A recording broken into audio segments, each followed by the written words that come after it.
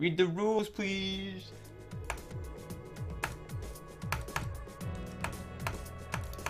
You don't want me to ban you.